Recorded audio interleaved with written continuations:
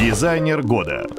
В номинации представлены Руслан Безус, Дмитрий Логинов, Евгений Никитин, Александр Терехов, Валентин Юдашкин.